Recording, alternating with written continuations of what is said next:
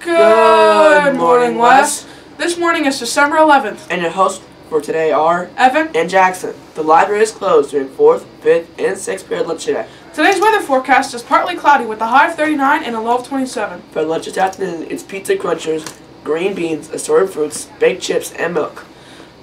Thanks for watching. This is Evan, and Jackson signing off. And always remember, West